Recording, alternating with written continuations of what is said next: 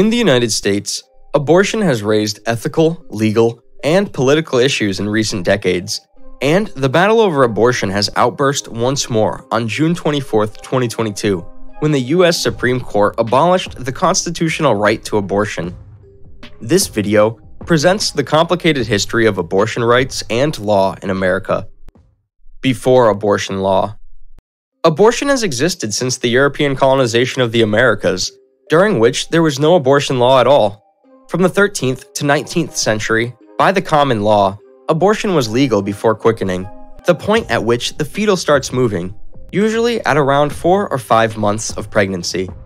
After the United States gained independence from England in 1776, abortion was viewed as socially unacceptable, but not illegal in most states.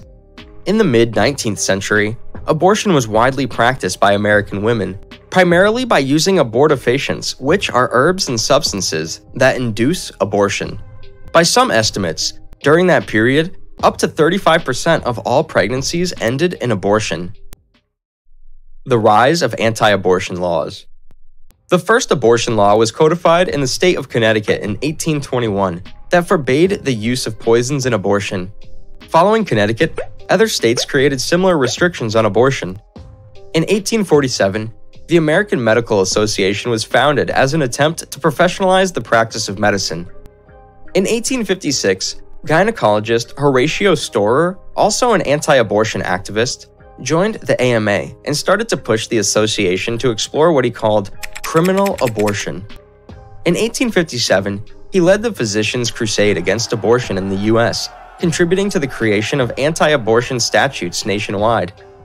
In 1873, with the help of Anthony Comstock, a U.S. postal inspector, the Comstock Law was passed, prohibiting the delivery of obscene materials, including information about abortion or contraception. By the early 1900s, abortion was made illegal in every state, some of which included an exception for pregnancies that put the mothers in danger. Path to Roe v. Wade over the next several decades, despite legal punishments, abortion continued to occur, mostly underground. The prevalence of unsafe, illegal abortions led to the increasing death toll with an estimated number of almost 2,700 women dying in 1930. In 1964, Gerri Santoro, an American woman who died due to an illegal abortion, became the symbol of an abortion rights movement. By 1972, abortion laws were reformed nationwide, specifically 30 states deemed abortion illegal without exception. 16 states deemed abortion legal in certain special circumstances. Four states allowed abortion upon request. Roe v. Wade. In 1973, the U.S. Supreme Court repealed all existing criminal abortion laws with its landmark Roe v. Wade decision. The Roe v. Wade case was named after Jane Roe, or Norma McCorvey, living in Texas. At that time, she wanted an abortion but was turned down because Texas law deemed it illegal except when necessary to save the mother's life. After Roe bore her illegitimate daughter and put her up for adoption, she, with the help of her attorneys Sarah Weddington and Linda Coffey, filed a lawsuit against her local district attorney, Henry Wade, alleging that Texas's abortion laws were unconstitutional.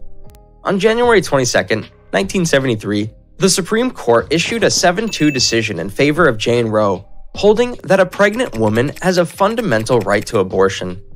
The decision was made together with a closely linked case, Doe v. Bolton, regarding Georgia's abortion laws. The court also imposed a trimester framework as an attempt to balance women's rights to privacy and the state government's interests in protecting women's health and parental life. Roe v. Wade overturned. In the 1992 Planned Parenthood v. Casey, the Supreme Court, while upholding the constitutional right to abortion, overturned the trimester framework and articulated an undue burden standard. In 2021, the Women's Health Protection Act was introduced by Congresswoman Judy Chu, aiming to codify abortion rights into federal law.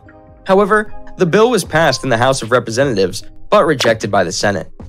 On June 24, 2022, both Roe and Casey were overruled by the Supreme Court in Dobbs v. Jackson Women's Health Organization on the ground that the Constitution does not confer a right to abortion, marking an end to the federal abortion rights and returning the authority to regulate abortion to individual states. Upon the ruling, abortion bans are expected to occur in roughly half the states, especially in some Republican led states. The decision is once again igniting the legal battles between anti abortion activists and abortion rights activists within and beyond the United States. Thanks for watching. If you find this information useful, please give us a thumbs up and share it with your friends. Don't forget to subscribe to our channel for more videos of history.